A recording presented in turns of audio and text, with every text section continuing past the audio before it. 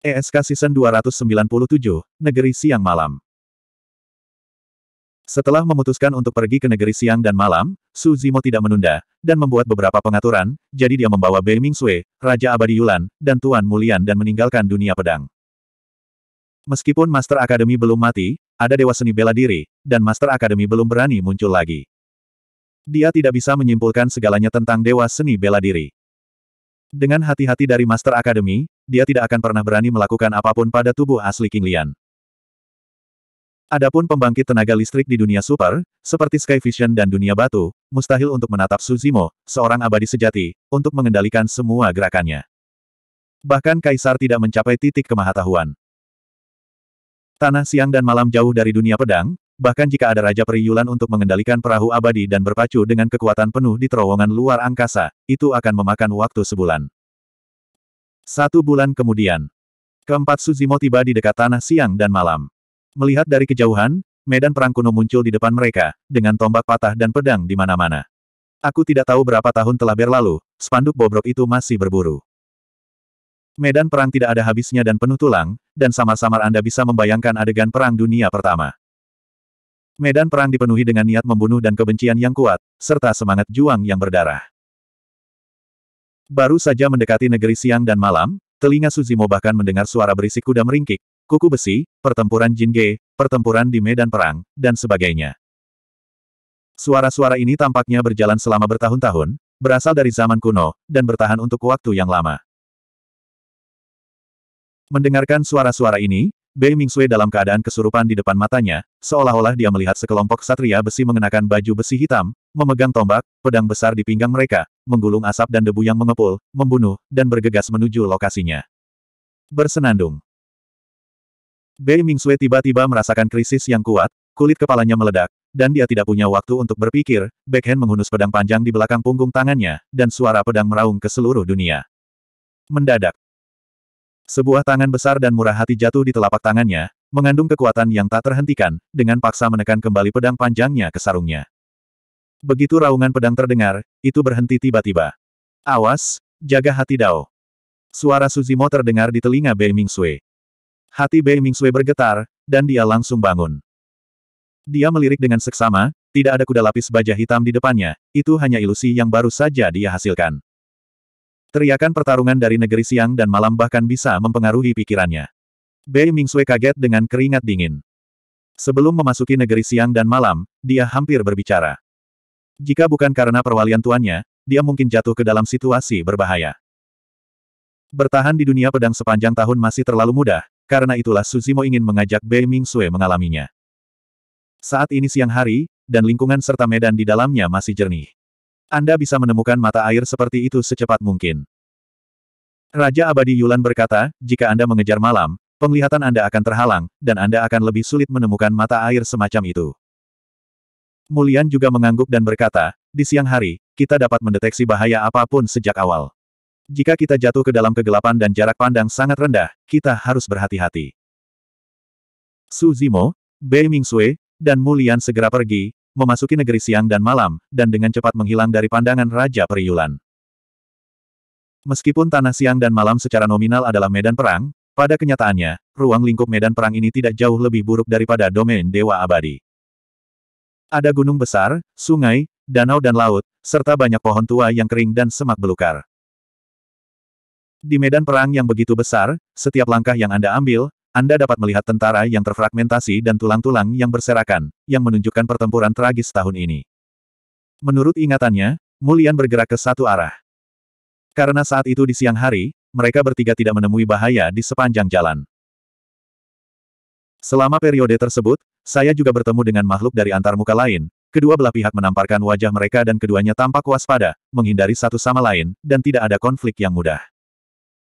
Sebagai medan pertempuran zaman kuno, tanah siang dan malam terkubur secara alami dengan banyak harta karun. Selama berabad-abad, banyak biksu berkelana ke dunia siang dan malam untuk mencari peluang. Baru setengah hari berlalu, situasinya tiba-tiba berubah. Tanpa peringatan, malam tiba, dengan cepat menutupi seluruh negeri siang dan malam. Perasaan depresi berat juga muncul di hati saya. Belum lagi Bei Mingsui dan Mulian, bahkan Su Zimo mengerutkan kening. Ada kegelapan di sekeliling, diisi dengan kekuatan yang dingin dan suram. Ketika kesadaran ketuhanannya memancar, itu akan dihilangkan oleh kekuatan ini dan menjadi ketiadaan. Dengan penglihatan 12 keberuntungan King Lian, jarak terjauh yang bisa dia lihat tidak lebih dari 100 meter. Jika dia seperti ini, Bei Mingsui dan Mulian bahkan lebih bermasalah. Keduanya paling tinggi, dan mereka hanya bisa melihat jarak 10 kaki. Pada saat ini, hati Su Zimo bergerak, perlahan-lahan mendorong roh primordial, menjalankan metode rahasia, mata kirinya hitam pekat, dan mata kanannya putih.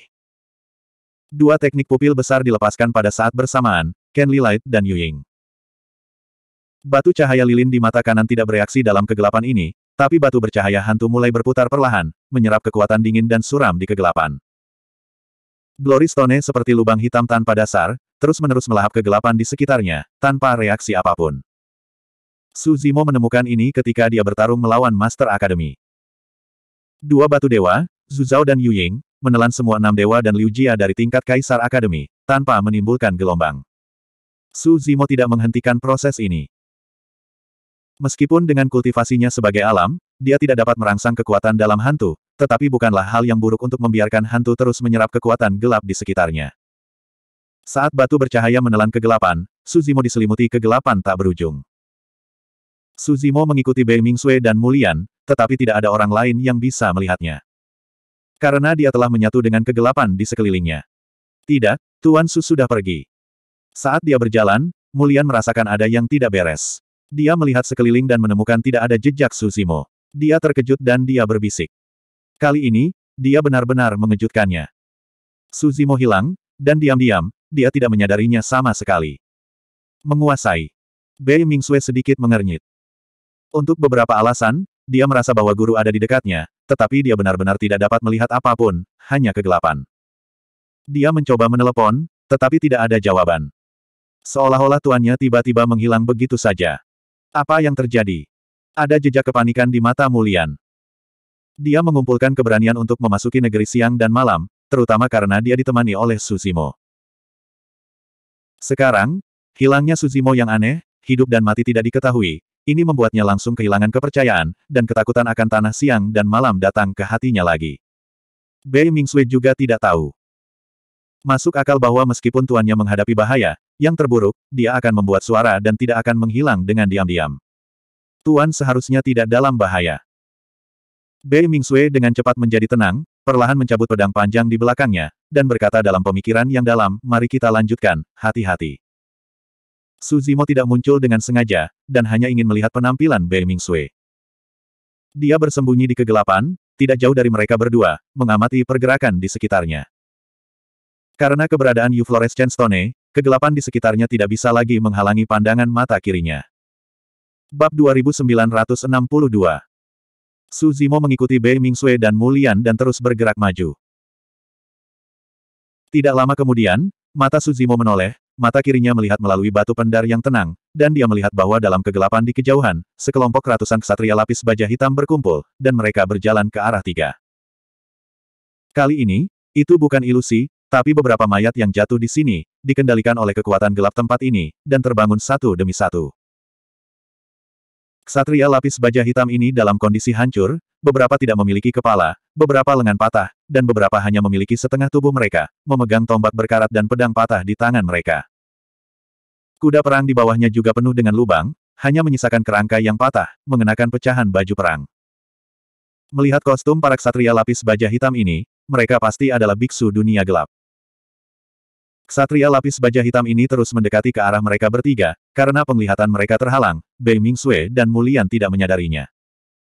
Bahkan suara dari ksatria lapis baja hitam yang berbaris dihilangkan oleh kekuatan gelap di sekitarnya. Ketika kelompok ksatria lapis baja hitam mendekat, Tepat ketika jarak antara kedua sisi hanya seratus kaki, kelompok satria berpakaian hitam sepertinya telah menemukan sesuatu, menatap lokasi Suzimo, dan berhenti.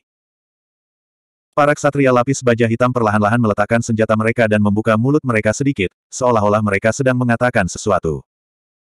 Suzimo sedikit mengernyit dan mendekati ksatria lapis baja hitam itu. Dalam kegelapan, hatiku menuju cahaya. Kelompok ksatria lapis baja hitam ini berteriak berulang kali, dengan tatapan saleh. Delapan karakter ini, yang memiliki kekuatan yang tak bisa dijelaskan, dibacakan di mulut para ksatria lapis baja hitam yang telah jatuh selama bertahun-tahun, penuh dengan kesedihan dan kesedihan yang tak ada habisnya. Dalam kegelapan, hatiku menuju cahaya. Su Zimo bergumam pelan. Apa yang terjadi antara dunia gelap dan dunia terang saat itu? Suzimo memandang para ksatria lapis baja hitam ini dengan ekspresi serius, sedikit melengkungkan tangannya, lalu berbalik dan pergi, mengikuti Bei Mingsue dan Mulian. Sepanjang jalan, ketiganya bertemu dengan banyak ksatria lapis baja hitam yang berkeliaran. Tetapi para ksatria lapis baja hitam ini memperhatikan bahwa Suzimo bersembunyi di kegelapan, jadi mereka tidak melangkah maju untuk menyerang, tetapi menghindar sendiri.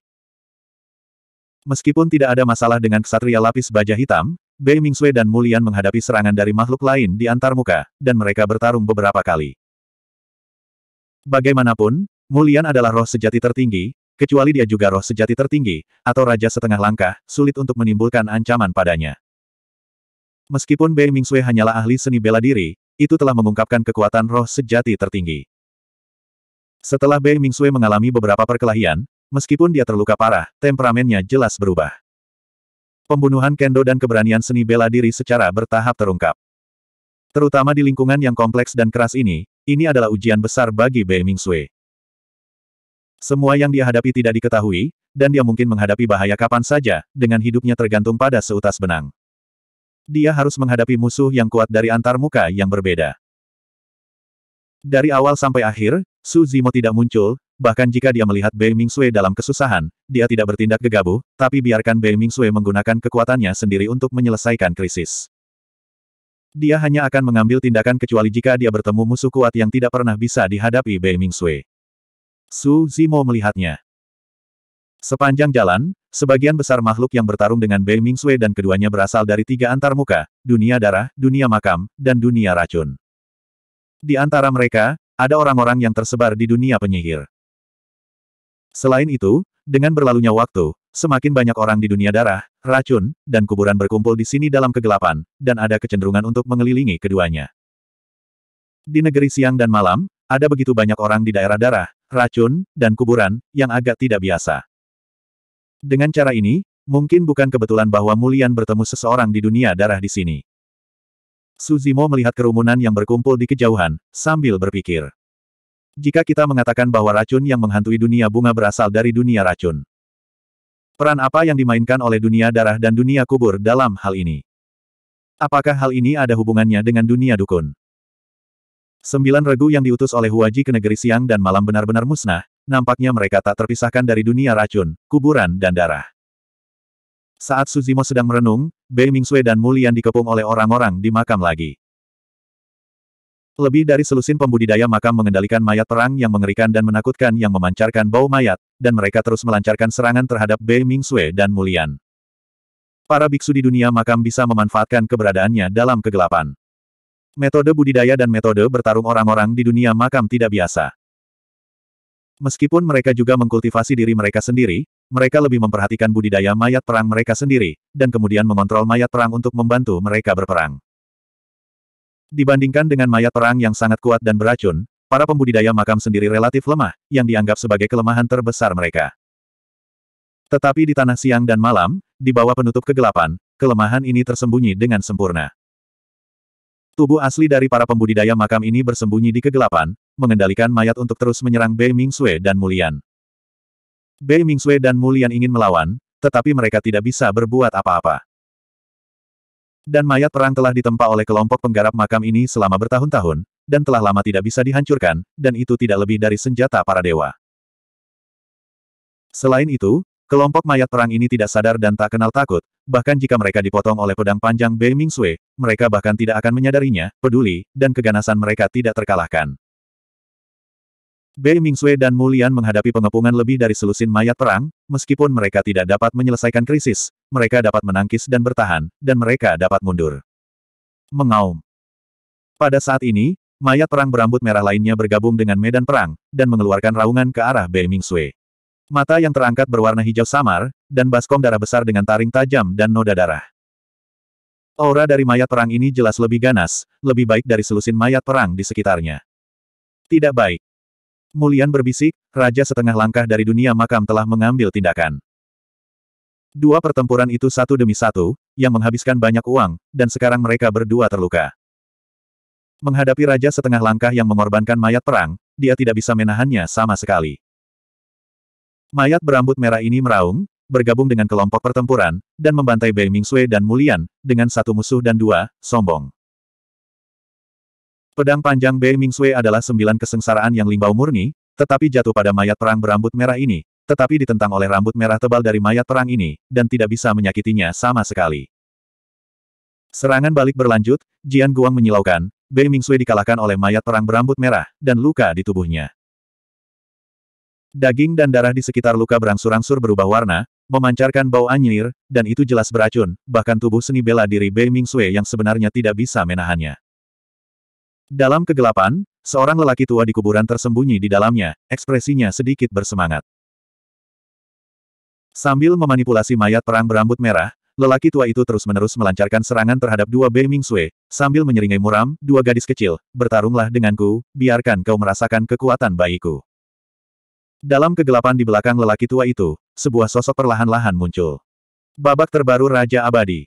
Bab 2963 Mayat pertempuran yang dikendalikan oleh Raja Setengah Langkah menyebabkan terlalu banyak kerusakan pada Bei Mingsui dan Mulian, dan itu di luar jangkauan keduanya yang bisa mereka tanggung.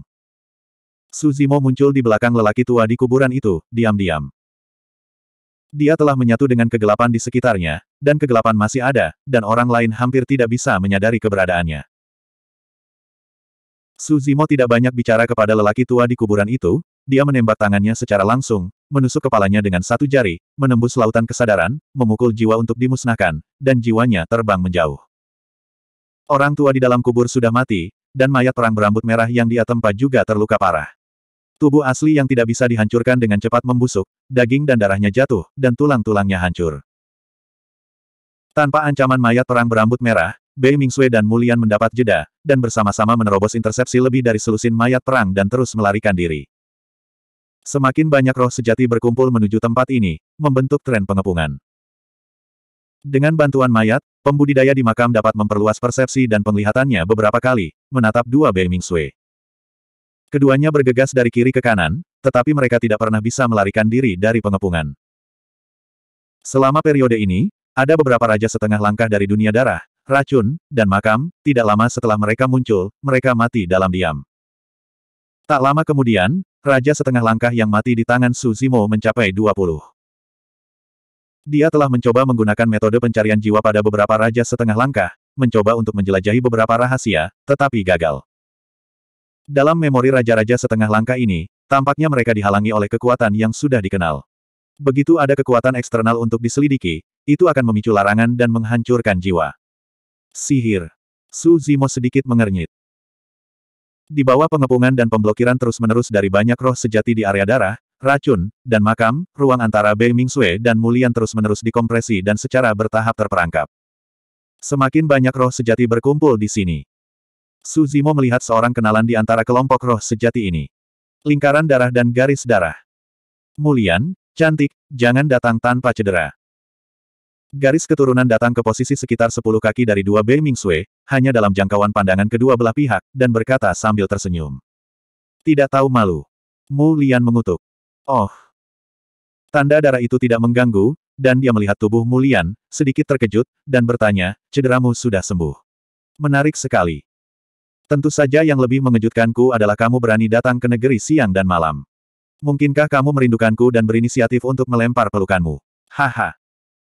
Sebelum Mulian dapat berbicara, Blutlin tidak bisa menahan tawa, wajahnya tidak bisa menyembunyikan kegembiraan dan kebanggaan. Banyak suku anggur di sekitar juga tertawa. Klan anggur darah sangat haus darah. Mereka memperlakukan makhluk vegetasi lain sebagai makanan mereka sendiri dan menjarah dengan panik. Alam Kinglian asli dihancurkan oleh klan anggur darah. Kudengar mulutmu bisa memancarkan aura pedang. Sekarang sepertinya mulutmu benar-benar murahan. Bei Mingsui di sebelahnya tidak bisa mendengarkan, dan berkata dengan dingin. Kamu adalah. Blutlin melirik Bei Mingsui dan sedikit mengernyit. Orang ini tampak tidak asing, tetapi dia tidak dapat mengingatnya untuk sesaat. Di medan perang roh jahat hari itu, Bei Mingsui berada di lapangan Fengtian, dan tidak menemani Su Zimo ke medan perang roh jahat. Meskipun Bloodmark telah melihat Bei Mingsui di antara kerumunan di dunia pedang, dia tidak memiliki kesan yang dalam. Saudara. Roh sejati alam darah dengan wajah pucat, memegangi dadanya yang terluka, menatap Bei Mingsui dengan ganas, dan berkata, wanita ini milik dunia pedang. Dunia pedang. Garis keturunan terkejut. Bagaimana dunia pedang berbaur? Setelah itu, Bloodlin sepertinya memikirkan sesuatu, wajahnya sedikit berubah, dan dia dengan cepat bertanya, berapa banyak orang yang datang dari dunia pedang? Tidak yakin. Roh sejati alam darah menggelengkan kepalanya, dan berkata dalam pemikiran yang dalam, sepertinya kecuali wanita ini, aku belum melihat orang lain. Hanya satu orang dari dunia pedang. Garis darah itu mengerutkan kening secara diam-diam. Pada saat ini, hanya Bei Mingsui yang tiba-tiba berkata, jangan takut, kali ini dunia pedang hanya dua orang, guru dan aku, yang akan datang. Siapa yang melihat tuannya? Tidak menyadarinya. Mungkin sudah mati. Mungkin juga ketika situasinya tidak bagus, saya sudah lama melarikan diri. Roh sejati di sekitarnya berbicara beberapa kata, mengerutkan bibir, tampak menghina. Siapa tuanmu? Seseorang bertanya dengan santai. Bei Mingsui berkata, Susu. Lingkungan menjadi sunyi sesaat, dan tetesan jarum terdengar. Pada saat ini, tampaknya semua roh sejati yang hadir terpana oleh dua kata ini, diam-diam. Nama ini, dalam 3000 dunia dalam beberapa tahun terakhir, cukup untuk membuat roh sejati merasakan keberadaan mengerikan dari kesemutan di kulit kepala. Master puncak kesembilan dari Jian Feng di dunia pedang, Susu.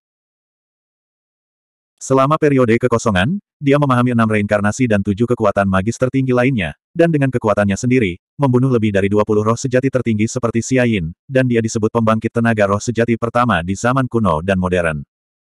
Ketika Bloodlin mendengar nama ini, seluruh tubuhnya terkejut. Lebih dari 800 tahun yang lalu, di medan perang iblis, roh sejati tertinggi mengepung Suzu, hanya dia yang selamat. Dengan ini saja, ketenaran dan prestise telah meningkat dari hari ke hari dalam beberapa tahun terakhir.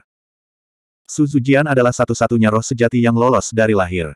Seberapa besar kemuliaan ini? Keterampilan macam apa ini? Masalah ini, cukup darah untuk dihembuskan seumur hidup. Ribuan pembangkit tenaga roh sejati di sekitar awalnya memiliki ekspresi santai, mengobrol dan tertawa dengan santai. Tapi setelah kata, Su Su, diucapkan, penonton terdiam. Bahkan nafas dalam kerumunan menjadi lemah. Mulian merasakan perubahan di atmosfer sekitarnya, dan hatinya bercampur. Kabar baiknya adalah bahwa Master Puncak Suzu menakuti ribuan kekuatan roh sejati hanya dengan mengandalkan sebuah nama. Di antara 3000 alam, Suzu adalah satu-satunya yang bisa melakukan ini. Kekhawatirannya adalah bahwa bagaimanapun juga, ada banyak pembangkit tenaga roh sejati yang hadir, tetapi dengan bantuan kata, Susu, saya khawatir itu tidak akan bertahan lama. Ekspresi garis keturunan tidak pasti, menatap Bei Mingsui untuk waktu yang lama, lalu menyipitkan mata dan bertanya, apakah Anda murid Susu? Apakah gurumu benar-benar di sini? Bei Mingsui tidak menjawab, hanya tersenyum tipis. Semakin tenang Bei Mingsui, semakin ilusi hati para biksu di sekitarnya. Bagaimanapun, garis keturunan adalah roh sejati tertinggi. Setelah memikirkannya, dia dengan cepat tenang, sedikit mencibir, dan berkata dengan suara keras, kamu tidak perlu khawatir tentang itu, Suzu akan datang ke sini, hanya saja baik. Ada lebih dari 30 raja setengah langkah dari beberapa antar muka kita. Begitu bayangan gua itu dilepaskan, Suzu itu juga akan menundukkan kepalanya. Persis. Di tengah kerumunan, roh penyihir sejati mengangguk dan berkata dengan suara yang dalam, Raja setengah langkah, Bagaimanapun, telah melakukan kontak dengan kekuatan dunia gua, tidak peduli seberapa kuat roh sejati tertinggi, ada tidak ada ambang pintu untuk memasuki dunia gua. Jika Suzu itu muncul, kali ini kebetulan memanfaatkan lingkungan negeri siang dan malam untuk membunuhnya di sini, dan itu akan dianggap sebagai balas dendam bagi rakyat kita. Di medan perang roh jahat, roh sejati tertinggi dari dunia penyihir, dunia racun dan dunia makam semuanya mati di tangan Susimo. Hah, di mana kakak senior lu? Penatua Hong. Sister Sueying, kamu di mana? Pada saat ini, semua orang menemukan bahwa Raja setengah langkah dari antar muka masing-masing tidak ada di kerumunan. Menelepon beberapa kali berturut-turut, tetapi tidak ada tanggapan. Pada saat ini, malam di sekitarnya berangsur-angsur memudar. Negeri siang dan malam telah berubah lagi. Hari datang. Setiap orang mendapatkan kembali penglihatan, kesadaran, dan persepsi lingkungan mereka. Pada saat yang sama, semua orang menemukan bahwa ada orang tambahan di samping Bei Mingsue dan Mulian. Bab 2964 Pria itu berkemeja biru dan berambut hitam, berdiri dengan tangan di belakangnya, mata kirinya sekelam tinta, seperti lubang hitam tak berdasar, menatap dingin para biksu di sekitarnya. Ketika Bloodmark melihat orang ini, wajahnya berubah drastis. Su-su. Kedua kata ini keluar. Begitu suara itu jatuh, ada keributan di sekitar. Kelompok pembangkit tenaga roh sejati yang awalnya ingin melangkah maju tanpa sadar mundur beberapa langkah, dalam keadaan kacau, melihat ke arah pembudidaya kemeja hijau tidak jauh dengan ekspresi cemburu. Saya baru mendengar dua nama, tetapi sekarang semua orang melihat orang yang hidup. Kamu hanya ingin membunuhku. Mata Suzimo seperti listrik, dan dia melihat sekeliling. Banyak pembangkit tenaga roh sejati ditangkap oleh auranya, dan tidak ada dari mereka yang berani menatapnya, mereka lemah dalam keberanian dan menghindari tatapan mereka satu demi satu. Bei Mingsui dan Mulian akhirnya menghela nafas lega ketika Su Zimo muncul. Mata Suzimo berbalik dan mendarat di tubuh Blutlin. Dalam sekejap, bercak darah terasa bahwa rambut berdiri tegak, Kulit kepala meledak, sirkulasi darah menjadi lambat, dan rasa bahaya yang ekstrim muncul di hati saya. Ini bukan medan perang iblis. Di medan pertempuran roh jahat, dia melihat bahwa situasinya tidak baik, dan dapat menggunakan token Fengtian untuk melarikan diri ke langit. Tetapi ini adalah negeri siang dan malam, dan Anda harus mengeluarkan sejumlah uang jika Anda ingin melarikan diri di depan roh sejati pertama di zaman kuno dan modern. Tentu saja, Hari ini mereka memiliki lebih dari 30 raja setengah langkah dan ribuan roh sejati tertinggi. Melawan Suzu ini, mereka mungkin tidak memiliki kekuatan untuk bertarung. Tapi, mengapa raja setengah langkah ini tiba-tiba menghilang? Masuk akal bahwa mereka harus berada di dekatnya. Apakah Anda mencari raja-raja setengah langkah itu? Suzimo berkata dengan ringan, aku membunuh mereka semua dalam perjalanan ke sini. Mendesis. Banyak roh sejati tampak terkejut. Suzimo berbicara dengan santai, tetapi itu lebih dari 30 raja setengah langkah, dan mereka juga merupakan dukungan terbesar mereka dalam perjalanan ini. Mustahil. Mata Blutlin berkedip, dan dia berkata dengan suara yang dalam, jangan dengarkan dia omong kosong, dia hanya kosong. Iya. Garis keturunan hanya ingin mengatakan bahwa Suzimo hanya dalam periode kosong, tetapi tiba-tiba menemukan bahwa tingkat kultivasi Suzimo telah mencapai periode kosong. Hanya 800 tahun, terobosan lain. Berkultivasi ke alam sejati, bahkan jika seorang beku dengan bakat luar biasa ingin maju ke alam, perlu waktu lama untuk menumpuk dan menetap, dan itu membutuhkan banyak kesempatan. Karena jiwa sejati kehidupan 500 ribu tahun, ratusan tahun, atau bahkan ribuan tahun, tidak lebih dari sebuah celah dalam kuda putih. Bagaimana seseorang bisa menerobos dari fase kosong ke fase kosong hanya dalam beberapa ratus tahun? Garis keturunan ditelan, berhenti sejenak, dan melanjutkan, dia hanya dalam periode kekosongan, tapi sama sekali tidak mungkin untuk diam-diam membunuh lebih dari 30 raja setengah langkah. Biasanya, jika Suzimo ingin berurusan dengan raja setengah langkah, dia pasti akan bertarung, dan itu memang akan menyebabkan banyak pergerakan. Tetapi karena sifat khusus dari tanah siang dan malam, malam tiba, dan Suzimo bergabung ke dalam kegelapan. Raja-raja setengah langkah itu tidak menemukannya sama sekali, jadi mereka dibunuh olehnya, bahkan setelah kematian, mereka menatap mereka, wajah mereka bingung, dan mereka tidak menatapnya. Mendengar kata-kata dari tanda darah itu, banyak pembangkit tenaga roh sejati yang sudah mundur, sedikit terguncang saat ini. Tuhan mendengarkan perintah saya. Blutlin menarik napas dalam-dalam, mengangkat tangannya, menunjuk ke arah Suzimo, dan berteriak, bunuh dia. Para pangeran menjadi terkenal, hari ini saja. Bagaimanapun, garis keturunan adalah roh sejati yang tertinggi. Banyak pembangkit tenaga roh sejati di dunia darah yang patuh padanya. Mendengar urutan pola darah, banyak roh sejati di dunia darah tidak mencurigainya, dan mereka mengubah tubuh keluarga anggur darah, berakar di tanah siang dan malam, dan menumbuhkan tanaman merambat merah dan tebal, menerobos langit. Karena tindakan suku anggur darah, bahkan beberapa roh sejati dari dunia kuburan dan dunia racun juga telah mengambil tindakan. Mengaum. Banyak mayat perang meledak dengan raungan, dengan mata merah darah, dan di bawah kendali roh sejati dunia makam, mereka bergegas menuju Susimo. Pembangkit tenaga roh sejati dari dunia racun melepaskan banyak racun, dan harta roh beracun menyebar ke seluruh langit, seperti tetesan hujan lebat, tumpah ke arah Susimo. Di antara roh-roh sejati ini, mereka hanya mendengar nama Suzu dan banyak legenda tentang pencapaian Suzu, tetapi hanya sedikit yang melihat pertempuran itu di medan perang iblis dengan mata kepala mereka sendiri. Di antara kerumunan, tidak ada roh sejati yang menyaksikan pertempuran itu yang berani bertindak atas Suzimo. Termasuk bercak darah. Dia memerintahkan banyak roh sejati di sekitarnya untuk mengepung Suzimo, tetapi dia tidak bergerak, dan dia bahkan tidak melepaskan kekuatan magis tertingginya. Sebaliknya, dia langsung mengorbankan pendarahan dan melarikan diri dari Dava, dan seluruh orang berubah menjadi cahaya berdarah, melarikan diri dengan liar di kejauhan. Baru saja, dia baru saja menjual roh sejati dari tiga antarmuka utama, menunda Suzimo, dan mengulur waktu untuk melarikan diri. Suzimo memperhatikan pergerakan garis darah dan sedikit mencibir. Menghadapi serangan dari banyak pembangkit tenaga roh sejati di sekitarnya, dia terus-menerus melepaskan taktik sihir di tangannya, menunjuk ke depan, dan berkata dengan lembut, enam reinkarnasi. Ledakan. Jurang pusaran besar muncul di medan perang, dengan enam rune misterius berkedip di atasnya, memancarkan kekuatan tanpa akhir. Dalam sekejap, dunia berputar mengelilingi dunia, dan waktu serta ruang menjadi kacau. Tanaman merambat darah merah pekat meledak di udara, dan sebelum menyentuh sudut pakaian Suzimo, mereka diseret ke dalamnya oleh enam reinkarnasi dan berubah menjadi kabut darah. Mayat perang yang ditempa oleh roh sejati dari dunia makam tidak memiliki kesadarannya sendiri, tetapi setelah melihat enam reinkarnasi, mata dari mayat perang ini menunjukkan ketakutan yang dalam. Mereka ingin membebaskan diri, tetapi mereka tidak bisa mengendalikan tubuh mereka sama sekali. Mereka diseret ke jurang pusaran, diseret ke dalamnya, dan lolos ke reinkarnasi. Banyak racun, harta roh beracun di seluruh langit, juga ditelan oleh enam reinkarnasi. Semua makhluk di dunia, semuanya, tidak bisa lepas dari reinkarnasi. Selain itu, Ketika dia berkultivasi ke tahap kehampaan, enam reinkarnasi Suzimo jelas lebih menakutkan. Pusaran besar itu terus menyebar dan mengembang, menutupi langit dan menutupi matahari. Jika ada kekuatan yang cukup untuk menopangnya, tampaknya akan menelan seluruh daratan siang dan malam. Beberapa pembangkit tenaga roh sejati melihat bahwa situasinya tidak baik, dan segera melepaskan semua sarana kartu lubang, berbalik dan melarikan diri.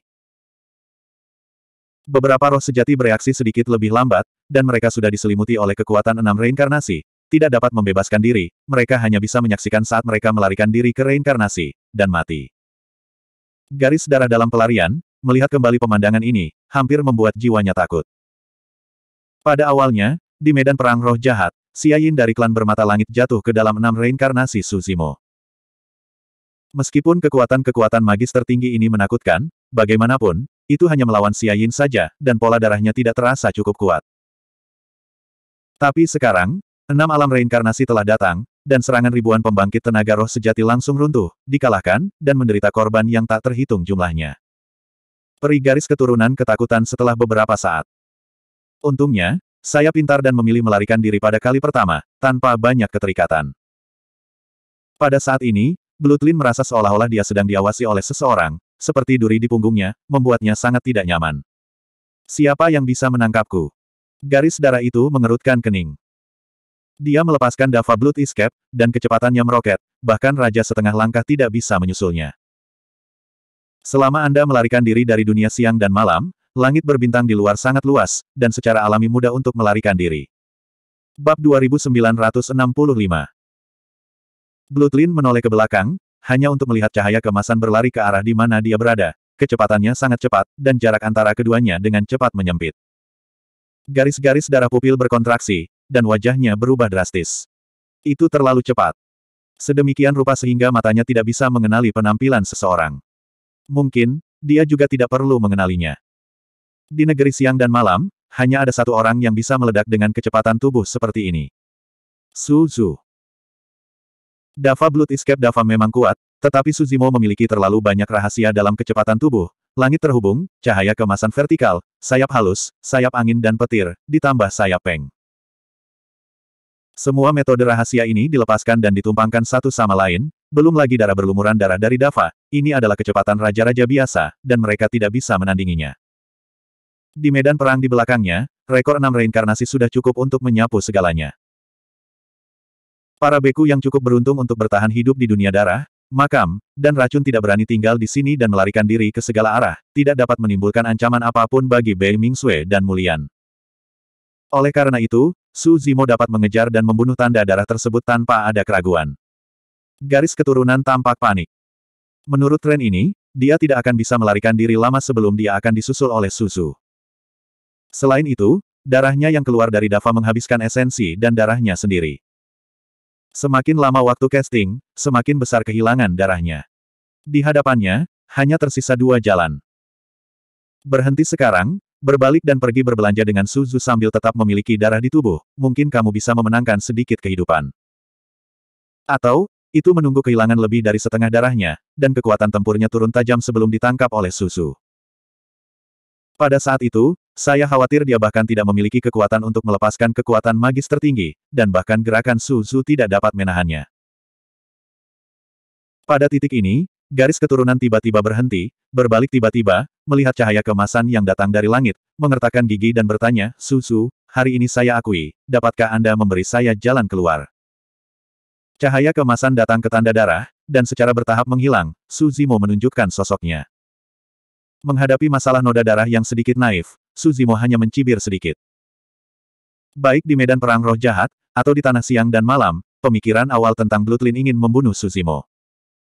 Hanya ketika dia menemukan bahwa situasinya salah, dia berubah pikiran. Sejak di medan perang iblis, pola darah terkutuk. Suzu. Karena konsumsi banyak esensi dan darah, kulit garis darah sedikit pucat, matanya suram, dan dia berkata dengan getir, bagaimanapun, aku adalah roh tertinggi dari dunia darah. Setelah kamu membunuhku, kamu akan menanggung kemarahan dunia darah. Aku membunuh semua raja di ranah darahmu. Apakah kamu masih peduli dengan roh sejatimu yang tertinggi? Dihadapkan dengan ancaman tanda darah, Su Zimo pun bergeming dan langsung membunuh tanda darah tersebut. Garis-garis darah itu tercengang. Dia tidak mengerti apa arti kata-kata Su Zimo. Suzu memang membunuh banyak roh sejati tertinggi di medan perang roh jahat, tapi kapan dia membunuh Raja Dunia Darah? Setelah ranah Fengtian ditutup, puluhan raja dari antarmuka alam darah dan cakrawala surgawi mengejar dan membunuh Suzimo, yang kemudian dibunuh oleh Dewa Seni Bela Diri. Belakangan, yang kuat dari semua lapisan masyarakat berspekulasi bahwa sangat mungkin kaisar dan yang kuat dari dunia pedang yang bergerak. Bahkan jika noda darah menghancurkan kepalanya, saya bahkan tidak dapat berpikir bahwa ini akan menjadi pekerjaan Suzimo. Melihat Suzimo bergegas ke sana, tidak ada waktu untuk memikirkan pola darah, dengan panik mendesak roh primordial, meremas seni sihir dengan kedua tangan, melepaskan kekuatan magis tertinggi, pemenjaraan ruang dan waktu. Dalam menghadapi serangan Suzimo, hanya kekuatan magis tertinggi yang bisa berdampak padanya. Kekuatan tak terlihat turun, membatasi waktu dan ruang di sekitar Susimo. Waktu stagnan, ruang terkunci. Di medan perang roh jahat, Suzimo menggunakan teknik pupilnya untuk memadatkan kekuatan supernatural tertinggi. Sebuah yin dan yang tanpa batas menghancurkan pola darah, hampir membunuhnya. Tapi kali ini, Su Zimo tidak melepaskan apa pun, sepertinya reaksinya sedikit lebih lambat, membiarkan batasan ruang dan waktu ini menimpanya. Kesempatan. Garis-garis darah bersinar di depannya. Bagaimanapun, dia juga roh sejati tertinggi, tidak lemah dalam kekuatan tempur, dan luar biasa dalam bakat tempur.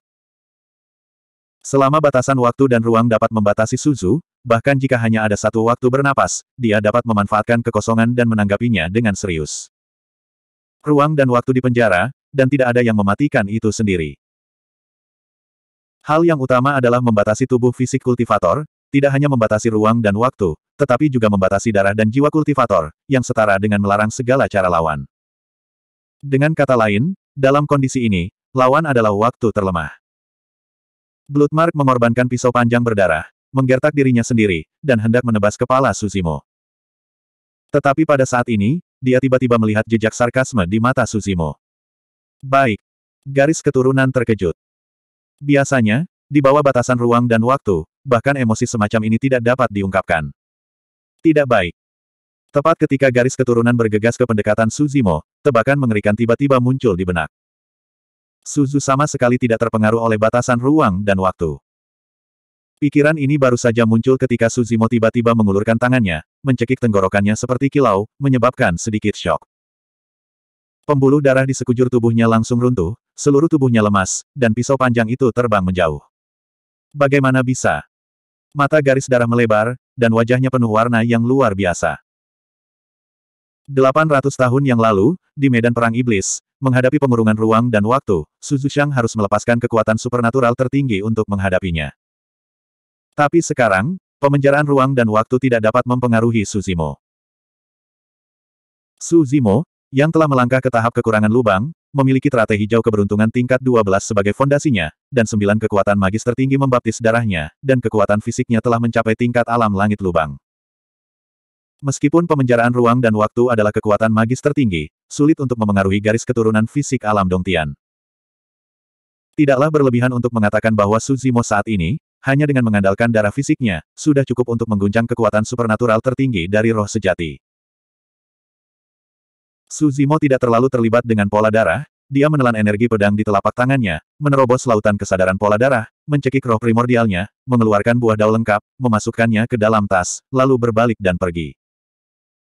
Dengan cara yang sama, tidak ada orang di sekitarnya, roh sejati yang bertahan di area darah, racun, dan kuburan telah lama melarikan diri. Mereka bertiga membersihkan medan perang dan melanjutkan perjalanan mereka.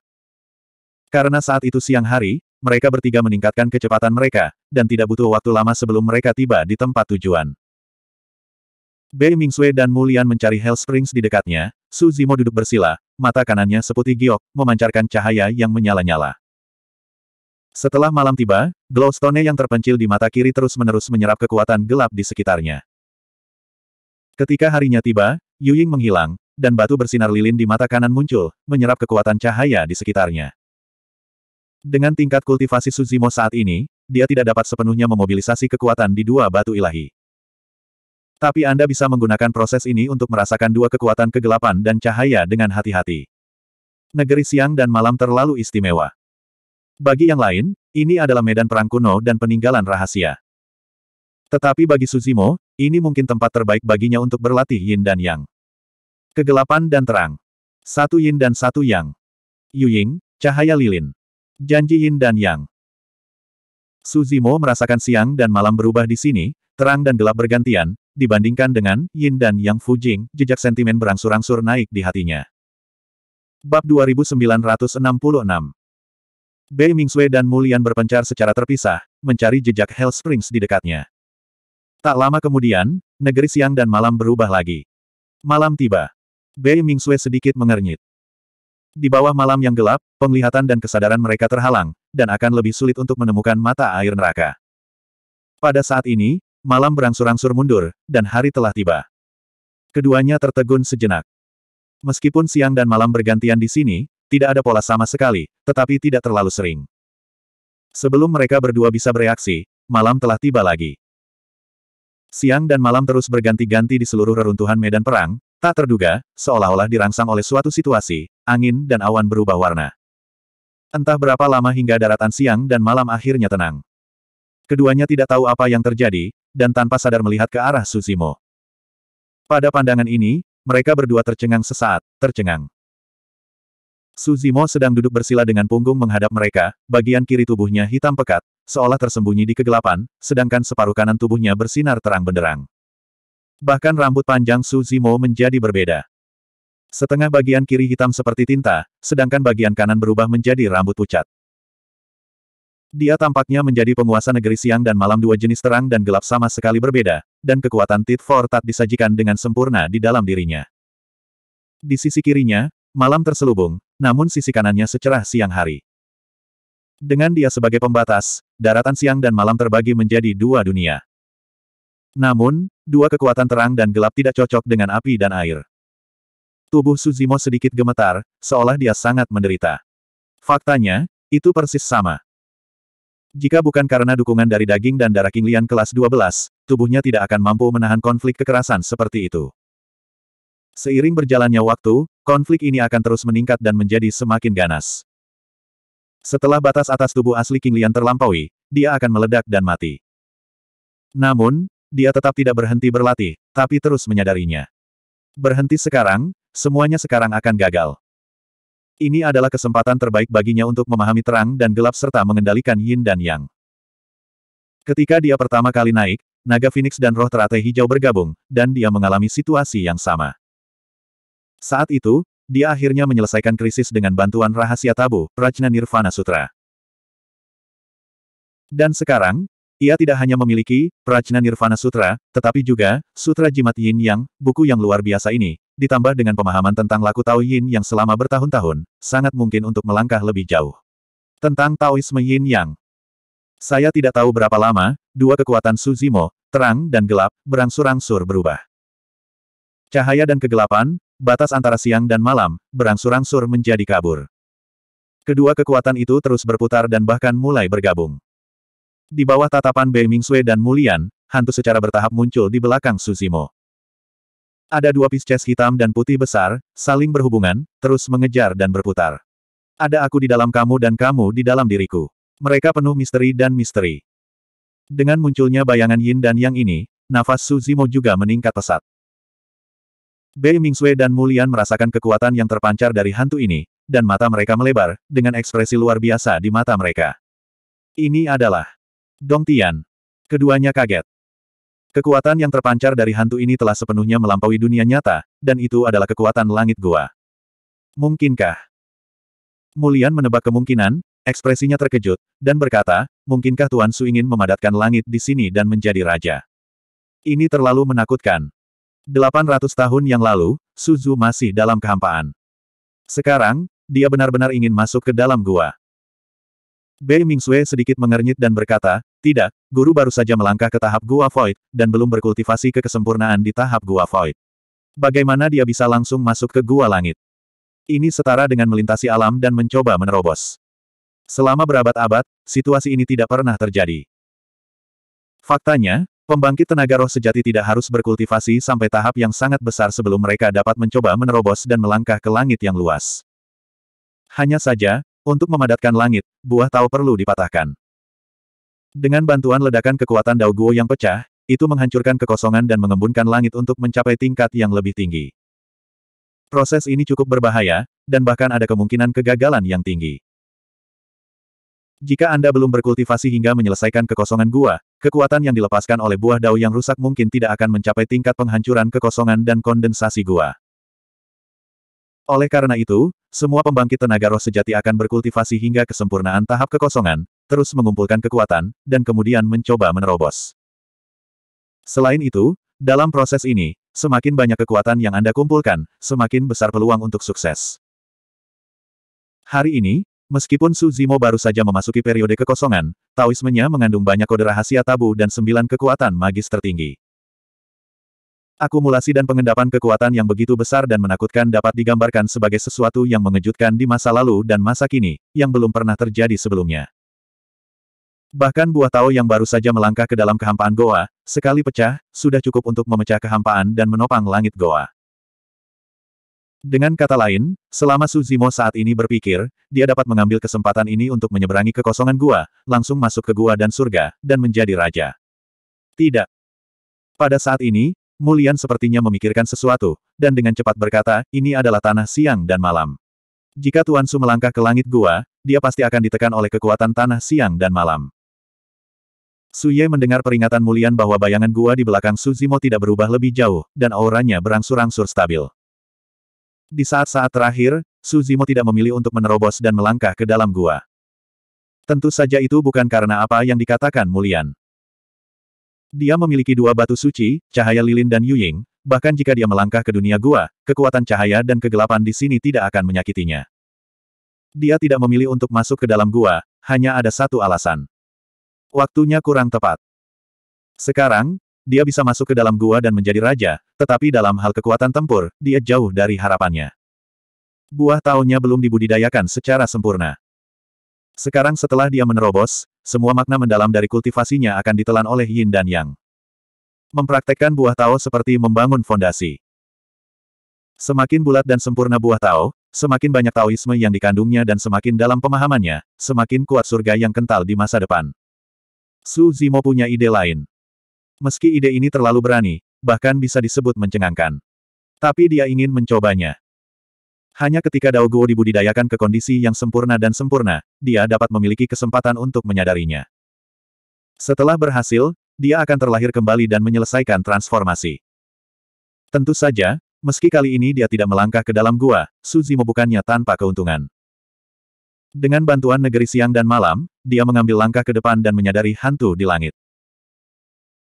Dan hantu langit gua ini menggabungkan kekuatan cahaya dan kegelapan di tanah siang dan malam, kekuatan yin dan yang dalam cahaya lilin dan bayangan, dan, jimat yin dan yang kekuatannya bahkan dapat bersaing dengan yang kecil. Gua Langit Bab 2967 Bayangan langit gua di belakangnya berangsur-angsur menghilang, Suzimo menghela nafas lega, membuka matanya, dan cahaya ilahi melintas. Meskipun wilayahnya masih dalam tahap kekosongan, dia sudah menyadari kekuatan langkah pertama Dongtian. Ketika Dewa Pencaksilat berada di alam pencaksilat yang sebenarnya, ia pun memahami cara serupa, yaitu pintu gerbang Abi. Tuan Su. Mulian sedikit khawatir, dan dengan ragu-ragu menelepon. Su Zimo bangkit, menoleh untuk melihat keduanya, mengangguk sedikit. Melihat ekspresi Su Zimo seperti biasa, Mulian melepaskannya, dan berkata, itu berbahaya sekarang. Jika kamu menerobos ke dunia gua, Tuan Su, aku khawatir itu akan menyebabkan kecelakaan. Su Zimo tersenyum tanpa menjelaskan. Ia memiliki dua batu keramat, Ken Lilith dan Yu Ying, meskipun ia benar-benar melangkah ke dalam gua, itu tidak akan menimbulkan reaksi yang berlebihan di negeri siang dan malam. Dua kekuatan terang dan gelap di negeri siang dan malam tidak membahayakan dirinya. Dengan bantuan Suzimo, mereka bertiga menemukan beberapa mata air neraka di dekatnya hanya satu hari kemudian. Hanya saja relatif jarang, dan bahkan sebotol obat mujarab tidak dapat diisi. Tapi Mulian cukup senang dan puas. Sebelum dia ingin datang, setelah beberapa zaman, selama beberapa tahun yang tidak diketahui, dia beruntung bisa menemukan mata air kuno semacam ini. Kali ini saya memasuki negeri siang dan malam, karena pengawalan Suzimo, meski ada beberapa ombak di tengah, sudah sangat mulus. Setelah mendapatkan mata air neraka, ketiganya tidak tinggal di tanah siang dan malam. Banyak orang Huaji yang diracuni oleh kejahatan, dan mereka dapat keluar dari krisis segera setelah mereka mencapai sumber neraka. Terlebih lagi, banyak biksu di area darah, racun, dan kuburan melarikan diri. Jika mereka menunggu mereka untuk kembali ke antarmuka masing-masing, mereka kemungkinan besar akan kembali, mengkhawatirkan Raja Dunia Gua untuk maju, melahirkan banyak variabel. Mereka bertiga meninggalkan negeri siang dan malam dan melihat Raja Peri Yulan menunggu di luar. Raja Abadi Yulan juga sangat gembira ketika dia mengetahui bahwa mereka bertiga terkejut dan tidak aman, dan bahwa mereka telah menerima mata air kuno semacam itu. Teman Su, aku sangat ingin berterima kasih kali ini. Raja Abadi Yulan berkata, jika tidak ada yang salah dengan teman-teman Tao, lebih baik pergi ke dunia bunga bersama kami. Saya juga akan melakukan yang terbaik untuk persahabatan Tuan Tanah, dan dunia bunga pasti akan mengucapkan terima kasih lagi. Ini hanya usaha kecil, bukan apa-apa. Su Zimo tersenyum tipis. Pada saat ini, Su Zimo sepertinya merasakan sesuatu, dia sedikit menoleh, melihat dalam-dalam ke arah lain, dan sedikit mengernyit. Di langit berbintang di sana, ada gelombang kekuatan yang samar-samar, yang sedikit mempengaruhi sepanjang siang dan malam. Seseorang tampaknya menggunakan kekuatan terang dan gelap di tanah siang dan malam untuk berkultivasi.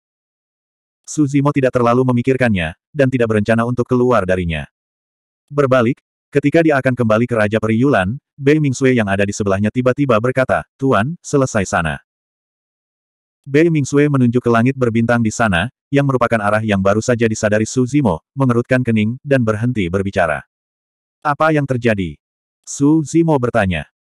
Bei Mingsui melihat lebih dekat, dan ragu-ragu, aura darah yang berasal dari sana agak familiar bagiku, seharusnya. Setelah jeda, Bei Mingsui perlahan berkata, darah Kunpeng. Baik. Ekspresi Suzimo sedikit berubah. Raja Abadi Yulan dan Mulian merasa sedikit terkejut ketika mereka mendengar darah Kunpeng, tetapi mereka tidak merasakan apa-apa. Kunpeng termasuk dalam garis keturunan tabu dan sangat langka.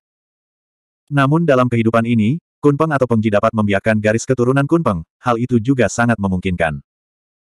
Keduanya tidak mengerti mengapa Suzimo dan Bei Mingsue menunjukkan ekspresi seperti itu. Suzimo bertanya, senang. Dia memiliki dua murid di benua Tianhuang. Murid besar adalah Bei Mingsui. Murid kedua memiliki kunpeng yang tabu, dan dia memberinya nama Xiao Yao. Bei Mingsui ragu-ragu sedikit, lalu mengangguk, dan berkata, garis keturunan saya telah menjaga telur kunpeng selama beberapa generasi, jadi akan ada perasaan samar antara garis keturunan saya dan junior saya, selama jaraknya tidak terlalu jauh, Anda bisa menyadarinya. Anomali darah Bei Mingsui adalah kun raksasa. Dan Xiao Yao lahir di Senkuan jauh di bawah tanah di keluarga Ming Utara, dan secara alami memiliki hubungan yang erat dengan darah keluarga Ming Utara. Setelah kenaikannya, Su Zimo tidak mendapat kabar apa pun tentang Xiao Yao. Dia berspekulasi bahwa Xiao Yao seharusnya berada di alam kun atau alam peng. Hanya saja dia belum sempat pergi ke dua dunia super ini untuk menanyakan kabar. Sekarang, adalah hal yang baik untuk mengetahui berita tentang Xiao Yao. Tetapi Suzimo memperhatikan bahwa wajah Bei Mingsue tidak terlalu bagus. Apa yang terjadi dengan Xiao Yao? Wajah Suzimo tenggelam. Bei Mingsue menggelengkan kepalanya sedikit dan berkata, saya tidak tahu, tapi menurut persepsi saya, kondisinya sepertinya tidak baik. Pergi dan lihat. Tanpa ragu, Su Zimo berbalik dan berjalan menuju langit berbintang di sana. Raja Abadi Yulan dan Mulian juga mengikuti dari belakang. Bei Mingsui menjelaskan secara singkat kepada dua Raja Abadi Yulan, dan mereka tiba-tiba mengerti mengapa Su Zimo sangat gugup. Mengikuti arah dari fluktuasi kekuatan itu, keempat Su Zimo bergerak maju sepanjang jalan. Tidak butuh waktu lama, dan secara bertahap mendekati tujuan. Su Zimo sepertinya telah memikirkan sesuatu, dan tidak terburu-buru maju. Sebaliknya, dia merilis beberapa taktik dalam, Yin dan Yang Talisman, untuk melindungi keempat orang dari rasa Ki. Su Zimo harus berhati-hati dan berhati-hati. Mereka berempat perlahan menghilang dalam kehampaan, dan perlahan mendekat ke depan tanpa suara. Tak jauh dari negeri siang dan malam, ada bintang purba melayang di depan. Fluktuasi kekuatan semacam itu yang menarik daratan siang dan malam berasal dari bintang ini. Su Zimo melihat ke arah Bei Mingsui. Bei Mingsui juga mengangguk, menunjukkan bahwa Xiao Yao harus ada di bintang ini. Mereka berempat terus bergerak menuju bintang, semakin dekat dan dekat. Akhirnya, bintang itu benar-benar dalam pandangan keempatnya. Mereka juga dapat melihat dengan jelas apa yang terjadi pada bintang itu. Di atas bintang-bintang, ada dua sosok mengambang. Salah satu pemuda kurus dan lemah, anggota tubuhnya terjerat oleh rantai besi yang berkilauan dengan rune hijau, dan tulang pipa ditusuk oleh dua kait besar, meneteskan darah. Rantai-rantai ini semuanya terendam di dasar bintang-bintang. Di tanah, polanya terus berkedip, menunjukkan gambar hitam dan putih dari Yin dan Yang Pisces, mengejar gigitan dan menyerap kekuatan cahaya dan kegelapan yang menarik daratan siang dan malam. Dan kekuatan ini terus-menerus disuntikan ke dalam tubuh pemuda ini. Pemuda dengan rambut acak-acakan, wajah pucat, menderita kesakitan yang hebat, dan tubuhnya terus bergerak-gerak. Karena kekuatan ini, mereka tidak tinggal di dalam tubuhnya sama sekali. Di seberang pemuda ini, ada seorang pria berwajah bermartabat dengan baju besi hitam, rambut hitamnya menari-nari dan matanya cemerlang. Pada saat ini, di belakang pria misterius ini, hantu kun raksasa muncul, menutupi langit dan matahari, dengan bintik-bintik cahaya yang tak terhitung jumlahnya bersinar di tubuhnya, membentuk jalan yang aneh. Kun raksasa ini membuka mulut besarnya, seperti lubang hitam tak berdasar, dengan liar menyerap kekuatan dari pemuda yang berlawanan. Kekuatan negeri siang dan malam, melalui aksi susunan yin dan yang pada bintang-bintang, semua dituangkan ke dalam tubuh pemuda itu, berubah menjadi seutas benang sutra, dan ditarik keluar dari tubuh. Di antara kekuatan ini, ada juga benang berwarna darah. Kun raksasa di belakang pria berarmor hitam itu menelan tidak hanya kekuatan yin dan yang di masa muda, tapi juga darah pemuda. Bab 2968 Apa artinya orang jahat? Raja Abadi Yulan bersembunyi di kehampaan, kata transmisi suara. Mata Suzimo dingin dan dia tidak mengucapkan sepatah kata pun. Di atas formasi besar, pemuda yang terjebak oleh banyak rantai adalah Xiao Yao. Raja Abadi Yulan berkata, pria bersenjata misterius itu melepaskan metode rahasia klan Kun, Bei Mingtu. Dia memiliki kekuatan melahap yang sangat kuat. Legenda mengatakan bahwa dia dapat melahap segalanya jika dia berkultivasi sampai batas. Yang disebut peta Beiming adalah kun raksasa yang muncul di belakang pria misterius itu, dengan titik cahaya yang tak terhitung jumlahnya bersinar di tubuhnya, membentuk cahaya misterius, yang juga merupakan lintasan dari metode rahasia ini. Hanya garis keturunan klan Kun yang dapat mengolah peta Beiming ini. Tubuh klan Kun terlalu besar, saya tidak tahu ribuan milnya, itu bisa peringkat pertama dalam sepuluh ribu klan. Hanya tubuh besar klan Kun yang dapat menampung begitu banyak titik cahaya untuk membentuk gambaran lengkap, mengeluarkan kekuatan menelan yang sangat besar. Dia melahap darah Xiao Yao Kunpeng. Bei Mingsui tampak dingin, dan berkata sambil mengepalkan tangan. Ini bukan hanya darah. Su Zimo menggelengkan kepalanya sedikit. Jika Anda hanya menelan darah Xiao Yao, Anda bisa pergi ke mana pun, tidak perlu bepergian jauh dan dekat negeri siang dan malam. Formasi besar di tanah bisa menarik kekuatan terang dan gelap yang mengumpulkan tanah siang dan malam. Pria Suanjia memiliki darah klan Kun, tetapi dia mengontrol kekuatan Yin Bulan, dan tidak dapat langsung menyerap kekuatan cahaya dan kegelapan, dia juga tidak dapat menyeimbangkan kedua kekuatan tersebut. Tapi Xiao Yao adalah seorang kunpeng yang tabu, tidak hanya mengontrol kekuatan Yin Bulan, tetapi juga mengontrol kekuatan matahari. Mengunci Xiao Yao dalam susunan besar ini berarti kekuatan terang dan gelap yang dikumpulkan dari negeri siang dan malam dituangkan ke dalam tubuh Xiao Yao. Kekuatan cahaya dan kegelapan yang murni dan sangat besar hanya dapat diserap dan dicerna oleh garis keturunan Kunpeng yang tidak terkekang, dan diubah menjadi kekuatan yin dan matahari di dalam tubuh. Dengan bantuan metode rahasia Bei Mingtu, pria misterius itu menelan dan merampas kekuatan bulan dan matahari, bercampur dengan darah kunpeng yang tidak terkekang. Dengan kata lain, pria Suanjia menggunakan Xiao Yao untuk berlatih, dan bahkan untuk menyelesaikan transformasi. Setelah Anda berkultivasi ke alam sejati dan memadatkan buah Tao, akan sulit bagi Anda untuk kehilangan diri sendiri. Buah Dao, daging, darah, dan jiwa telah lama terintegrasi menjadi satu, dan mereka terkait erat. Bahkan jika roh primordial Xiao Yao terbunuh, roh primordial manusia Suanjia duduk di lautan pengetahuan Xiao Yao, dan merpati menempati sarang burung murai, sulit untuk menandingi darah Xiao Yao Kunpeng. Oleh karena itu, pria Suanjia akan menemukan metode keji ini untuk menemukan kembali dirinya dan mendapatkan kembali hidupnya. Kehidupan barunya berarti jatuhnya Xiao Yao. Apalagi orang ini sangat ambisius. Alamnya jelas telah dibudidayakan ke puncak tahap Gua Void, dan dia dapat melangkah ke Gua Langit kapan saja. Yang dia inginkan bukan hanya garis keturunan Kunpeng yang tidak terkekang, tetapi juga dengan latihan ini, dia bisa membuat terobosan dalam satu gerakan, memadatkan langit, dan menjadi raja. Raja Kun Bumi Pandangan Raja Abadi Yulan tertuju pada bintang-bintang, dan seorang lelaki tua tidak jauh dari lelaki Suanjia itu bergumam, dia masih hidup. Orang tua itu berambut abu-abu dan terlihat sangat tua. Mata lelaki tua itu sedalam laut, dengan tangan di punggungnya, seluruh orang hanya berdiri di sana tak bergerak, dan kemudian samar-samar memancarkan paksaan yang agung dan berat. Orang ini sangat kuat. Su Zimo bertanya. Empat dari mereka tersembunyi di kehampaan. Jika dia bergegas untuk memancarkan pengetahuan spiritualnya dan menyelidiki basis kultivasi yang lain, dia kemungkinan besar akan mengekspos perbuatannya. Sangat kuat. Raja Abadi Yulan tampak serius dan berkata, Raja Bumi Kun ini telah lama menjadi Raja Puncak, dia sudah terkenal sejak lama, dan dia mendominasi langit ratusan ribu tahun yang lalu. Meskipun dia dalam periode senja, klan Kun memiliki vitalitas dan darah yang sangat besar. Aku tidak punya kesempatan untuk menang melawan dia sekarang. Hanya ketika alam Dongtian selesai, Anda bisa disebut Raja Puncak. Raja Abadi Yulan berkata lagi, jika Raja Dikun secara pribadi dapat menemani dan menjaga, identitas pria misterius ini pasti sangat mulia. Raja Abadi Yulan mengalihkan pandangannya, melihat sekeliling pria misterius itu, dan berkata, selain itu, di sekitar pria misterius ini, tidak hanya ada satu raja, tapi empat raja bersembunyi di kegelapan. Su Zimo sedikit menyipit. Seperti yang dikatakan Raja Abadi Yulan, jika lima raja dapat dijaga di sisinya, identitas pria misterius ini benar-benar luar biasa. Apa alam dari empat raja lainnya? Su Zimo bertanya. Raja Abadi Yulan berkata, aura keempat orang itu jauh lebih lemah daripada Raja Dikun. Mereka seharusnya adalah Xiao Shen di alam Dongtian, seorang raja biasa. Mata Suzimo berkedip, mengungkapkan jejak niat membunuh. Tidak peduli apa identitas pria Suanjia itu, dia bisa melakukannya dan menyelamatkan Xiao Yao.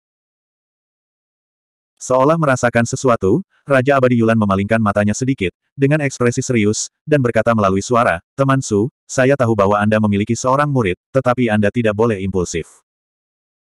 Raja Abadi Yulan melihat pikiran Su Zimo, karena takut dia akan bingung jika dia peduli, dan tidak bisa melihat situasi di depannya. Bukannya aku tidak ingin membantu. Raja Abadi Yulan cukup tenang, dan menganalisis, jika saya bergerak, saya pasti akan diblokir oleh Raja Bumi Kun, dan tidak mungkin bagi Anda bertiga untuk menyelamatkan orang-orang di bawah pengawasan empat raja. Mu Lian mengangguk. Bei Mingsui mengatupkan mulutnya dan tidak mengatakan apa-apa, meskipun dia mengkhawatirkan Xiao Yao di dalam hatinya, dia tahu bahwa apa yang dikatakan Raja Abadi Yulan itu benar.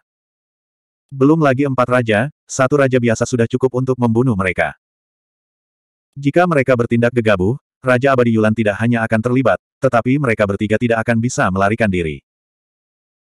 Raja Abadi Yulan berkata, sekarang beritahu alam pedang segera dan minta beberapa master puncak untuk maju, sehingga mungkin untuk menyelamatkan Xiao Yao itu.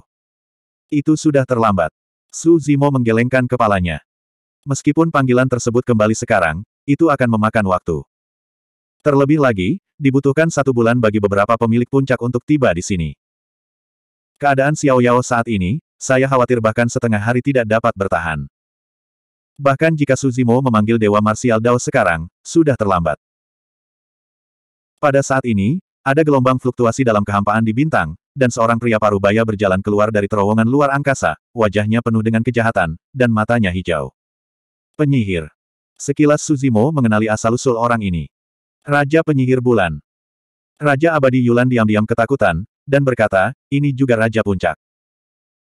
Lebih penting lagi, Raja Penyihir Bulan sepertinya telah bertemu dengan Raja Kun Bumi, dan setelah dia muncul, Raja Kun Bumi dan yang lainnya tidak terkejut.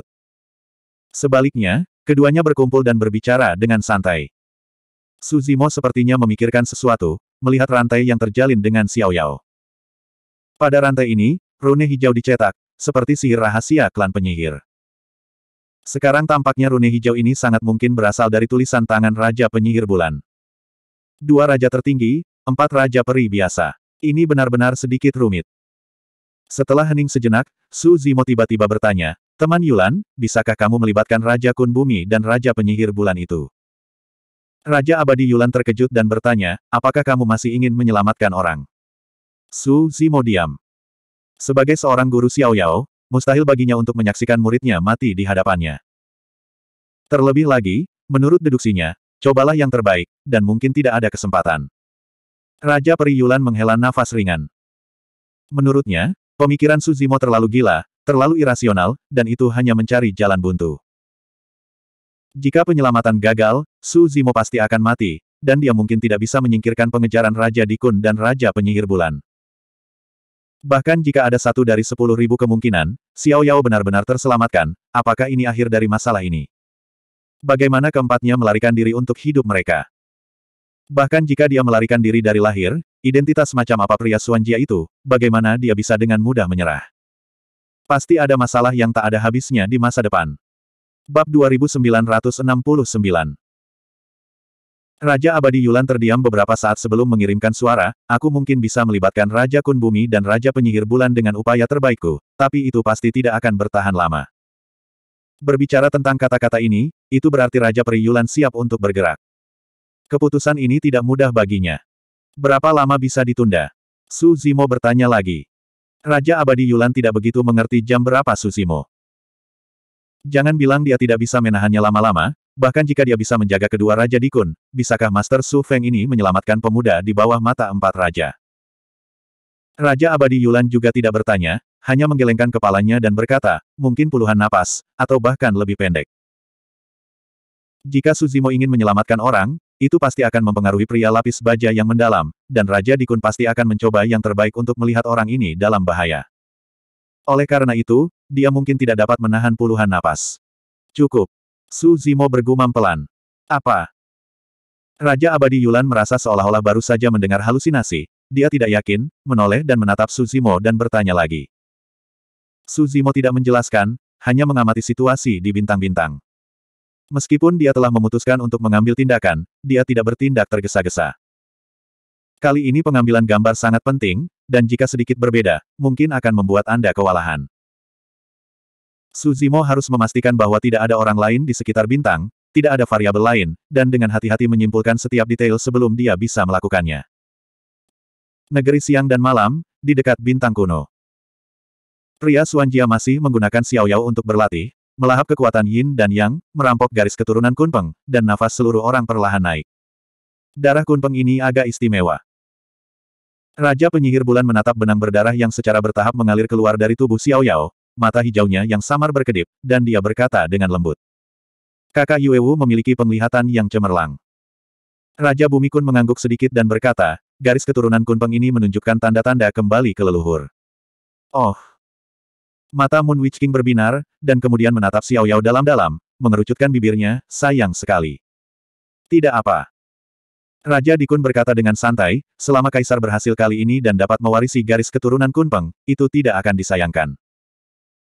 Raja Penyihir Bulan berkata, bahkan jika Anda dapat mewarisi garis keturunan Kunpeng, saya khawatir tidak akan ada kemungkinan untuk kembali ke leluhur.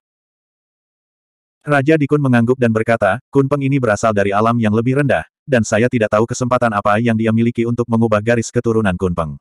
Tidak ada yang menjaganya, dia tidak bisa melindungi garis keturunannya sama sekali. Kunpeng ini juga pintar. Setelah naik, dia tidak pernah mengungkapkan ciri-ciri garis keturunan Kunpeng, tetapi hanya mengungkapkan aura garis keturunan Kunpeng, haha. Raja Dikun terkekeh dan berkata, sayang sekali dia tidak bisa menyembunyikan persepsi kaisar dan yang kuat. Pada saat ini, Raja Penyihir Bulan sepertinya merasakan sesuatu, Tatapannya horizontal, dan dia berbisik, seseorang. Pada saat berikutnya, empat sosok merobek kehampaan dan turun ke bintang kuno, salah satunya adalah Raja Abadi Yulan. Setelah muncul, Immortal King Yulan tidak ragu-ragu, langsung menopang Zok Chen Dongtian, dan menyelimuti Dikun King dan Moon Witch King. Setelah keempat pria itu tiba, para prajurit dibagi menjadi dua kelompok. Raja Abadi Yulan bergegas ke Raja Bumi Kun dan Raja Penyihir Bulan, dan tiga sosok lainnya bergegas langsung ke pria misterius di udara. Baik. Raja Dikun mengerutkan kening. Di antara empat sosok itu, hanya Raja Abadi Yulan adalah kesempurnaan agung di dalam gua, dan tiga lainnya hanya di alam, dan mereka tidak dapat mengancam pria misterius itu. Di sekitar pria Suanjia, ada empat Raja Klan Kun yang menjaganya. Tiga roh sejati tidak bisa mendekati tubuh pria berarmor hitam itu sama sekali. Adapun Raja Abadi tertinggi di depannya, sudut mulut Dikun sedikit terangkat, memperlihatkan senyuman dingin. Belum lagi ada Raja Peri Puncak dari ras penyihir di sampingnya, bahkan jika dia sendiri, itu sudah cukup untuk menekan Raja Peri Yulan. Anda mencari kematian. Raja Bumi Kun tidak ragu-ragu, kekosongan runtuh di belakangnya, dan langit gua besar muncul, dengan lautan yang dalam dan gelap bergelombang di dalam, memancarkan atmosfer sedingin es. Dunia bunga, Raja Peri Anggrek. Raja penyihir bulan mengenali identitas Raja Abadi Yulan, mengangkat alisnya, dan juga menyangga sisi gua untuk menyambutnya. Ledakan, ledakan. Tiga gua Zokchen secara langsung bertabrakan satu sama lain, dan suara yang memekakkan telinga meletus, mengguncang bintang-bintang dan pegunungan. Di sisi lain, tiga sosok bergegas menuju pria misterius di udara. Empat Raja Klan Kun yang tersembunyi dalam kegelapan muncul untuk pertama kalinya, salah satunya berdiri di depan ketiganya, dengan ekspresi menghina, tiba-tiba berbicara, dan mengeluarkan nada rahasia ke arah ketiganya. Untuk menghadapi tiga roh sejati, dia sendiri sudah cukup. Dia bahkan tidak harus mengorbankan guanya sendiri. Tiga Raja Klan Kun lainnya menyaksikan adegan ini tepat waktu. Karena tubuh besar Klan Kun, vitalitas dan darah yang agung, dan pelepasan teknik rahasia jangkauan, itu akan meledak dengan sangat mematikan. Bahkan raja dengan pangkat yang sama dari ras lain mungkin tidak dapat mundur secara keseluruhan. Jika menghadapi roh sejati, Teknik jangkauan vokal rahasia Raja Klan Kun sudah cukup untuk mengguncang tubuh dan roh primordial dari tiga roh sejati menjadi kabut darah, dan langsung memusnahkan mereka. Engah, engah, engah. Seperti yang diperkirakan. Setelah teknik rahasia jangkauan vokal ini meledak, ketiga sosok itu tidak dapat menahan dampaknya, dan daging mereka langsung meledak. Namun, setelah ketiga sosok itu hancur secara fisik, tidak ada noda darah yang terungkap. Di udara, hanya tiga gulungan slip giok yang tersisa mengambang di udara, memancarkan cahaya ungu, merah dan cian. Baik. Raja Klan Kun terkejut sejenak, ini adalah album giok Sanxing. Tiga Raja Klan Kun lainnya melihat batu giok tiga volume tergelincir dan berseru, sedikit tidak bisa dipercaya. Raja Klan Kun yang baru saja mengambil gambar sepertinya memperhatikan ada yang salah. Tetapi untuk sementara, dia tidak bisa memahaminya. Pada saat ini, Kekosongan di mana Raja Abadi Yulan dan yang lainnya baru saja keluar, ketika hendak mendekat, sesosok bergegas keluar. Itu terlalu cepat. Hampir segera setelah Raja Klan Kun merilis teknik rahasia jangkauan vokal, sosok ini bergegas keluar. Ketika Klan Kun melihat album tiga giok bening, dia mendatangi orang ini di depannya, memegang pedang panjang zamrud, dan menebas ke depan. Cahaya pedang berkedip tiba-tiba, dan itu tenggelam ke alis Raja Klan Kun. Pedang ini benar-benar memotong kesempatan hidup ini. Tidak peduli seberapa kuat jiwa raja, itu tidak bisa menghentikan ketajaman King Pingjian. Raja Klan Kun menatap matanya, dengan ekspresi yang tidak bisa dipercaya sampai kematiannya. Pada saat cahaya pedang berkedip, dia akhirnya ingin memahami satu hal. Jika buku Giok Sanxing adalah milik Raja Abadi Yulan, itu seharusnya merupakan tiruan dari kerajaan raja, bukan alam.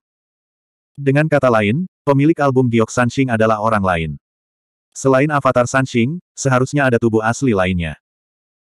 Tetapi bahkan jika dia ingin memahami ini, Raja Klan Kun tidak akan pernah berpikir bahwa roh sejati dapat membunuhnya secara instan. Ini pembunuhan yang sempurna. Waktu tembakan Suzimo adalah saat Raja Klan Kun melepaskan teknik rahasia jangkauan vokal ketika dia melihat buku Giok Sanxing kehilangan akal sehatnya. Apakah itu momen cepat atau lambat, efek ini tidak dapat dicapai. Bab 2970 Seorang raja dari klan Kun tewas seketika. Raja Abadi Yulan memperhatikan pemandangan ini dan tidak bisa tidak berseru dalam hatinya. Roh sejati dari tahap kekosongan gua melintasi alam besar dan membunuh Raja Langit Gua. Pembunuhan ini luar biasa. Terlepas dari waktunya, pelepasan metode rahasia, dan psikologi lawan, dia menggunakannya dengan sempurna. Bahkan untuk berhasil dalam pembunuhan, Suzu ini tidak ragu-ragu untuk mengekspos tiga buku Gyoking. Namun di saat yang sama, Raja Abadi Yulan juga mengetahui bahwa pembunuhan Raja Klan Kun tidak berarti bahwa kekuatan tempur Suzu bisa bersaing dengan Raja. Pembunuhan semacam ini hanya bisa dilakukan sekali dan hanya sekali. Ada tiga Raja Klan Kun di sisi yang berlawanan. Setelah bereaksi, mereka melakukan upaya habis-habisan untuk menopang langit. Suzu tidak punya kesempatan. Raja Abadi Yulan mencoba yang terbaik untuk menahan Raja Dikun dan Raja Yuewu, tapi dia menghela nafas dalam hatinya. Menurut pendapatnya, untuk membunuh Raja Klan Kun, Su Zimo mengungkap harta karun seperti Sanxing Yukai, yang merupakan upaya putus asa. Meski sukses, penampilan Sanxing Yukai mau tidak mau akan menggugah keinginan orang lain. Ketika Raja Dikun dan Raja Penyihir Bulan melihat album Tiga King Jade, mata mereka berdua cerah dan secercah kegembiraan lewat. Melihat kematian Raja Klan Kun, Raja Kun Bumi dan Raja Penyihir Bulan sedikit terkejut, tetapi mereka tidak menganggapnya serius. Hanya roh sejati, bahkan jika dia berhasil membunuh Raja Klan Kun, dia tidak akan bisa mengatasi banyak badai. Mereka diam-diam menemukan cara untuk merebut album tiga King Jade. Di sisi lain medan perang. Seorang Raja Klan Kun meninggal, dan tubuh asli Suzimo benar-benar terekspos. Pria berbaju besi hitam itu awalnya berlatih menjarah, tetapi ketika dia menyadari adegan ini, dia tidak bisa menahan cemberut. Tapi dia terlihat tenang dan tidak khawatir. Tiga Raja Klan Kun yang tersisa telah menyambut mereka. Tuan, hormat. Xiao Yao nyaris tidak membuka matanya dan melihat sosok di bawah. Dia sedikit sulit dipercaya. Dia berbisik dan matanya berangsur-angsur menjadi merah. Pria berbaju hitam itu menjarah darahnya, dia telah berjuang dan bertahan. Dia tidak ingin menyerah begitu saja. Namun, tubuhnya diikat oleh rantai yang penuh dengan rune penyihir, dan tulang pipa ditusuk, dan bahkan tubuh utama tidak dapat diubah, dan tidak dapat dilawan sama sekali. Xiao Yao dapat dengan jelas merasakan bahwa darahnya sendiri ditelan oleh pria berarmor hitam itu sedikit. Sakit, putus asa. Hati Xiao Yao penuh dengan ketidakberdayaan. Kesadarannya berangsur-angsur menjadi kabur.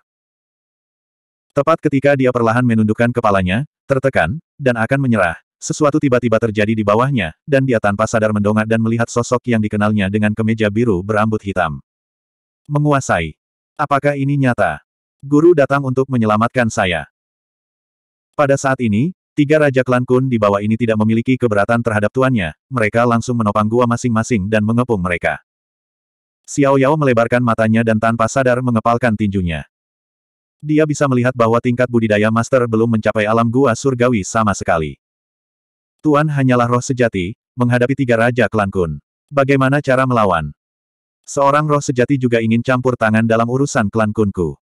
Dia benar-benar tidak tahu bagaimana hidup atau mati. Seorang Raja Klan Kun menghela nafas lembut, matanya dingin, dia mengangkat gua dan menekannya. Di medan perang. Menghadapi pengepungan tiga Raja Klan Kun, Suzimo tidak mundur. Dia juga tidak punya ruang untuk bersembunyi. Langit gua dari tiga Raja Klan Kun telah sepenuhnya memblokir semua ruang di sekitarnya. Suzimo menarik napas dalam-dalam, matanya melebar, Kedua telapak tangannya mencubit taktik, dengan panik mendesak jiwa, mengeluarkan kekuatan supernatural bawaan, kekuatan supernatural delapan gigi. Panggilan. Nafas seluruh orang Su Zimo langsung naik satu langkah.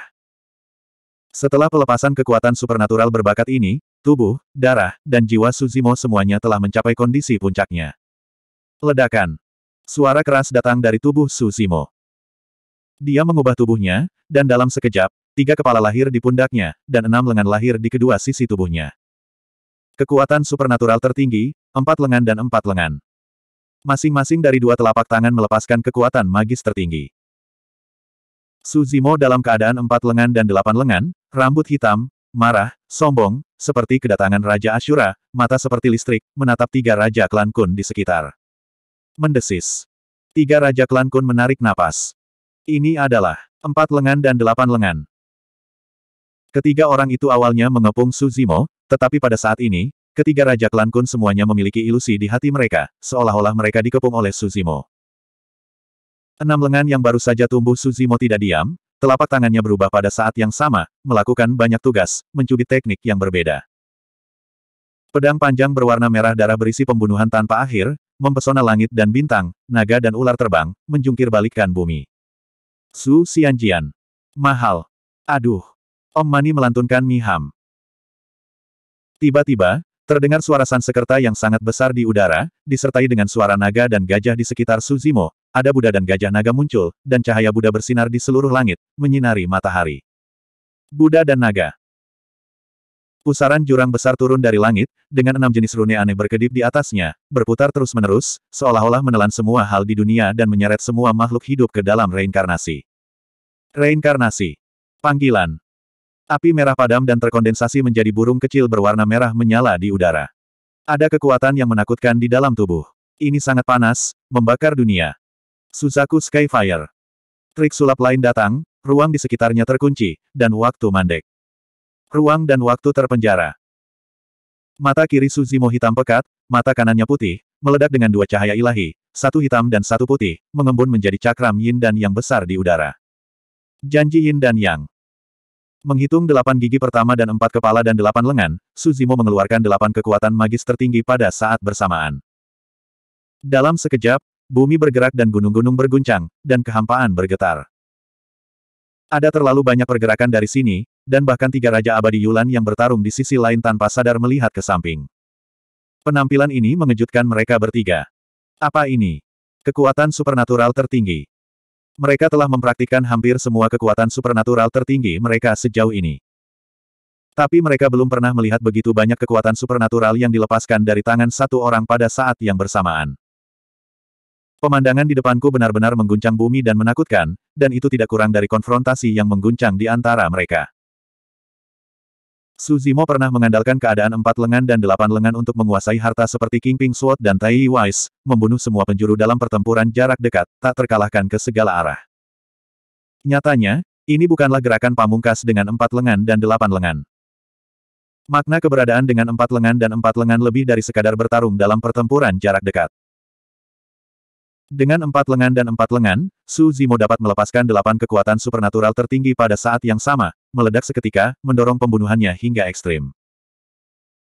Meskipun kekuatan magis tertinggi sangat kuat, bagaimanapun juga itu dibatasi oleh alam, dan roh sejati dilepaskan dan tidak dapat mengguncang langit sama sekali. Bahkan dua kekuatan supernatural tertinggi dan tiga kekuatan supernatural tertinggi tidak dapat melawan langit. Lima cara, enam cara. Delapan kekuatan magis tertinggi meledak pada saat yang sama, dan ketika mereka ditumpuk bersama, kekuatan macam apa yang akan mereka keluarkan. Sejak zaman kuno, tidak pernah ada pemandangan di hadapanku. Oleh karena itu, tidak ada yang tahu kekuatan macam apa yang akan meledak ketika delapan kekuatan magis tertinggi dilepaskan pada saat yang bersamaan. Bahkan Suzimo pun tidak tahu. Suzimo menatap ketiga Raja Klan Kun di sekitarnya dengan empat kepala dan delapan mata. Pada saat yang sama, dia berbicara, dengan lonceng keras yang berbunyi di seluruh dunia, dan perlahan berkata, saya beruntung menunggu Anda hari ini, dan Anda akan menyaksikannya dengan mata kepala sendiri.